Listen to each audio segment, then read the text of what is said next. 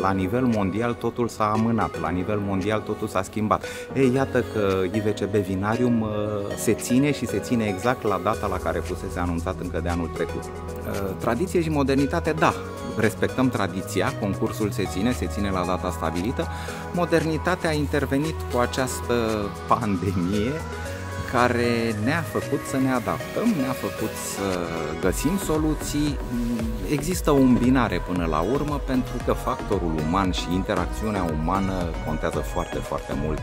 Până la urmă vinul asta face, nu vinul apropie oamenii.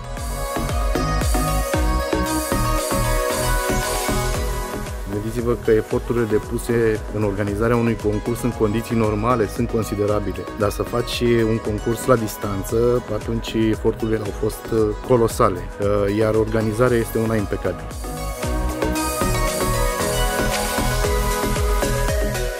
Cred că toți jurații au suficientă experiență pentru a putea analiza un vin la fel, ori într-o sală de degustare organizată, ori acasă.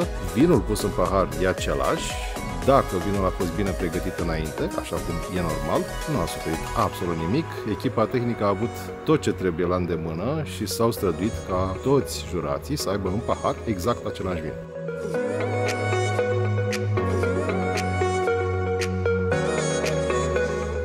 Ca șef de comisie trebuie să aștepți într-un concurs real, uh, să vină somelierul să-ți arate proba, să o deguști primul, să vezi dacă o pui și pentru ceilalți uh, în pahare sau uh, nu, să notezi numărul probei, să verifici că e acolo pe listă. De data asta este mult mai ușor, așa că din punctul ăsta de vedere eu apreciez foarte mult concursul acesta uh, online.